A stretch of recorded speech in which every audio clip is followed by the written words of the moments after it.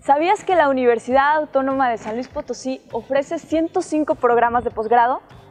Uno de ellos es la maestría en Ciencias de la Información Documental.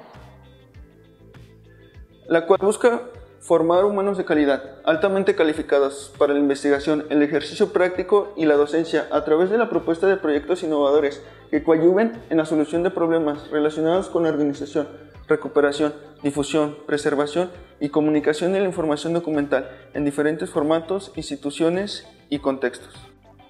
El periodo de ingreso a la maestría en Ciencias de la Información Documental es anual y la duración del plan de estudios es de 24 meses. Para mayor información, comunícate con nosotros. Inscríbete a la maestría en Ciencias de la Información Documental de la Universidad Autónoma de San Luis Potosí.